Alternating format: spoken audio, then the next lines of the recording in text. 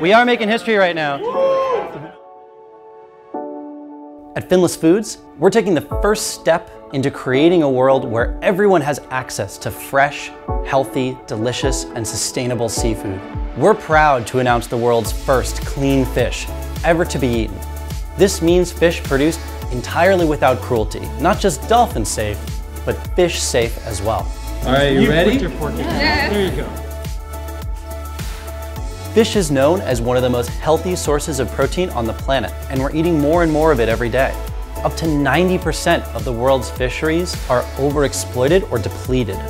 Contaminants like mercury, plastic, growth hormones, and antibiotics are increasingly making their way into our favorite foods. We knew there had to be a way to produce seafood without causing the harm that it does now.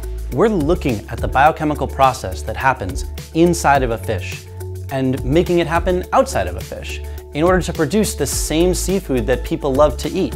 What they've done is they've started with nothing and they've built themselves a whole technological platform to make food in a way that just hasn't been done before. Seeing that come to fruition today was an extremely moving experience and I think also an important one uh, in terms of how human beings eat.